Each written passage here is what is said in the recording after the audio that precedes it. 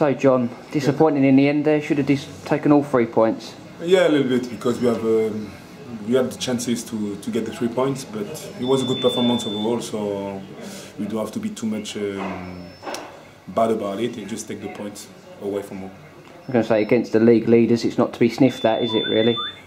Well, no, it's not. We actually, uh, especially in second half, we did play very well. We have three chances. We we create, we play even well the game and everything. So, so no, he's not sniffing out. We just uh, we just have to take him on chin and take the point and go home and prepare for the next game.